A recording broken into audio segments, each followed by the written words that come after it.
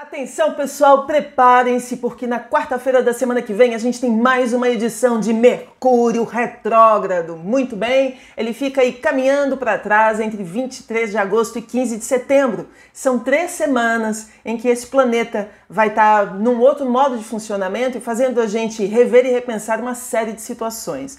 No vídeo de hoje eu explico quem é Mercúrio, é, o que significa uma retrogradação e como o Mercúrio retrógrado funciona especialmente no signo de Virgem. Que tal a gente conversar sobre isso? E, inclusive, sabendo disso de antemão, quem sabe a gente consegue organizar algumas coisas para antes do início desse movimento na quarta-feira da semana que vem. Bom, sejam todos muito bem-vindos. Para quem acabou de chegar, eu sou Aline Macari, eu sou jornalista, astróloga e analista junguiana. Curta esse vídeo, compartilhe com os seus e se inscreva no canal para você receber as notificações. Além disso, acompanhe também as produções de conteúdo da astróloga nas várias redes sociais, arroba a astróloga e também no site oficial.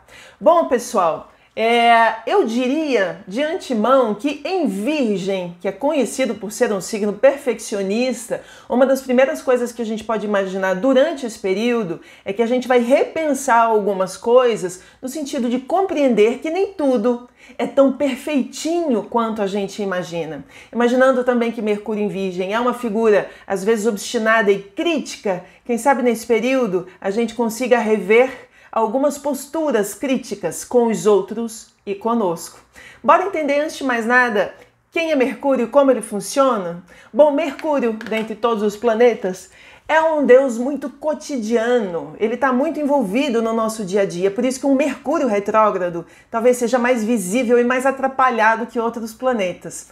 Mercúrio incide sobre a nossa maneira de falar, como a gente concebe a realidade, como a gente explica o mundo, como a gente lê, como a gente escreve, como a gente se comunica. É o Deus mensageiro, é o Deus da comunicação. Ele também é o Deus dos viajantes, portanto, a gente está falando de viagens, transporte, até greves é, de rodoviários, de caminhoneiros. Tudo isso tem a ver com o Mercúrio retrógrado, por exemplo, né? especialmente em Virgem, talvez a gente pudesse falar sobre isso.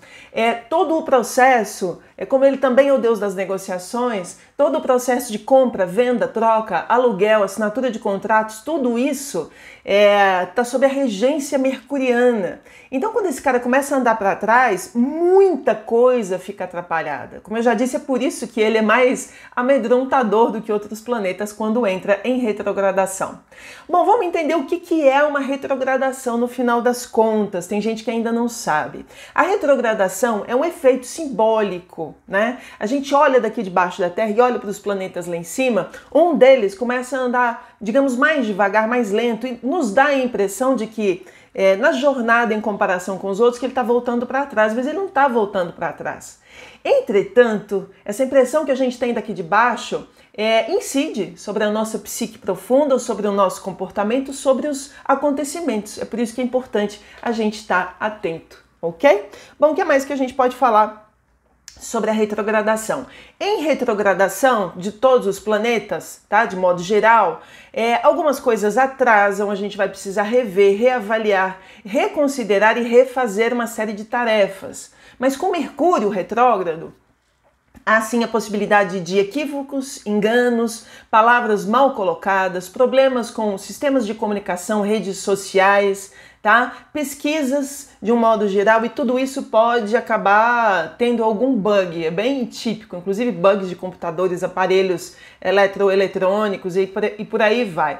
Por isso é tão recomendado que uma série de atividades sejam feitas antes desse período ou depois desse período. Então, se você conseguir fazer isso antes, ainda melhor. É por isso que, inclusive, eu estou avisando com alguns diazinhos de antecedência, tá bom? Porque durante a retrogradação há a chance de algumas coisas começarem mal, começarem em atraso com distorção, com confusão, com mal entendido. E isso tudo vai exigir da gente muita reflexão, retratação, refação. A gente vai ter que refazer uma série de coisas, o que pode ser, no final das contas, um baita de um embrólio que vai fazer a gente perder tempo, perder paciência, perder dinheiro e perder as estribeiras, tá bom?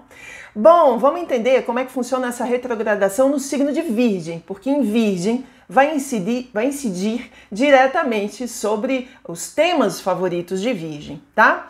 É, Mercúrio em Virgem funciona de maneira geral, de uma maneira bastante, de um modo bastante analítico, racional, organizado. É disciplinado, sistemático, cartesiano e lógico.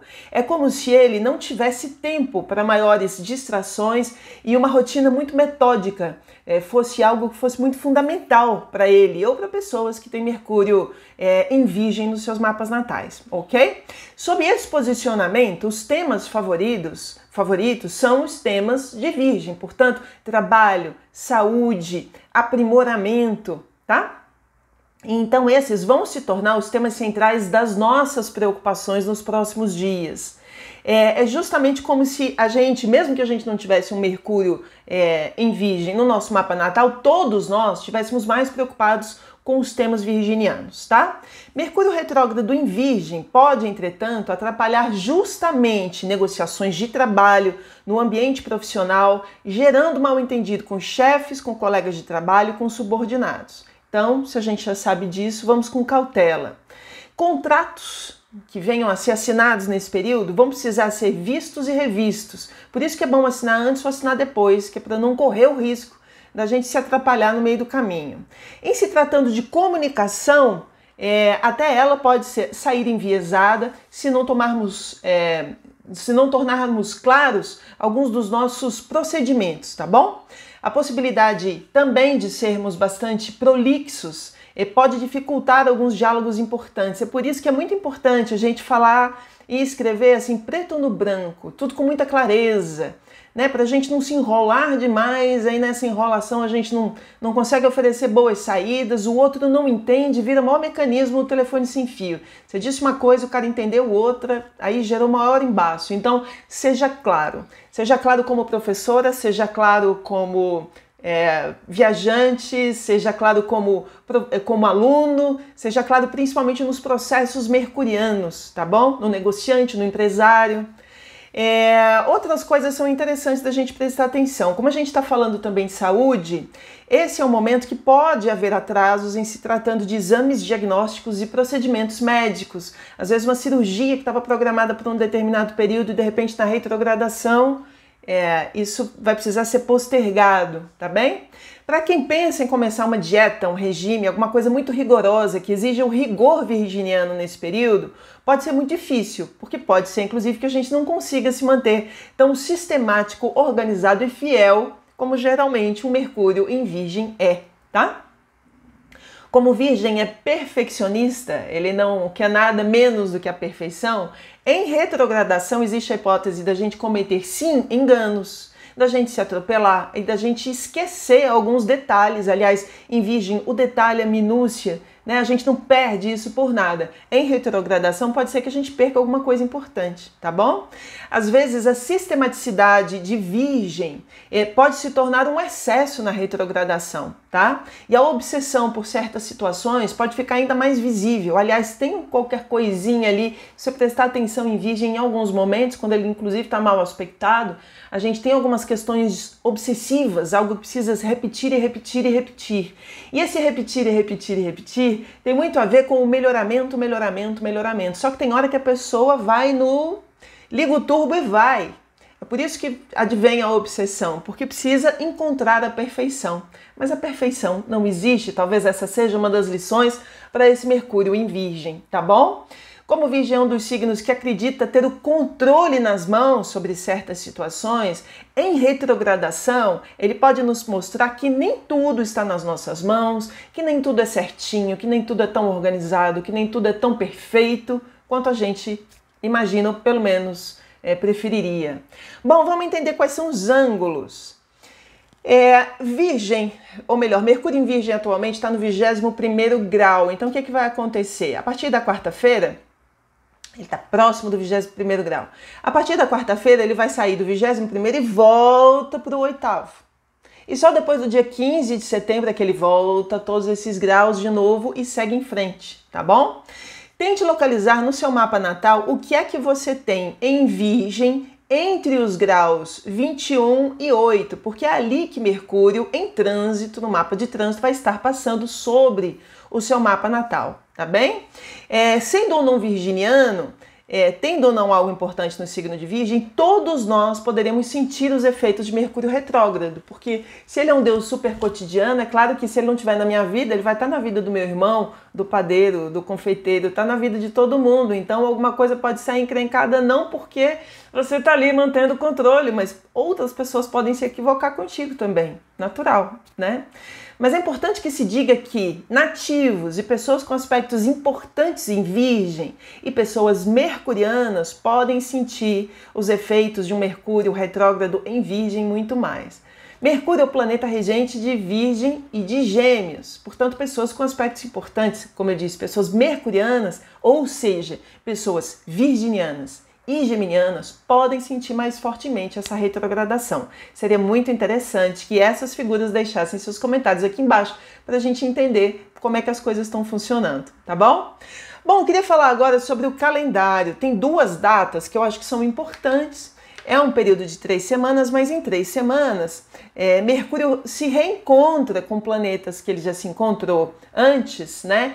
é, ou não necessariamente, né, porque vai ter um encontro com o Sol também, é, e isso pode falar para gente sobre momentos específicos dessa retrogradação. Então tem duas datas, acho bacana vocês anotarem aí o período no caderninho de vocês. Vamos lá. Entre os dias 3 e 5 de setembro, a gente vai ter um trígono entre Mercúrio retrô em Virgem e Júpiter em Touro, tá? Na verdade, esse não é um aspecto nada problemático, é um, é um trígono. E mesmo que seja em retrogradação, é um efeito positivo, talvez o momento mais positivo dessa temporada é, de retrogradação, tá bem?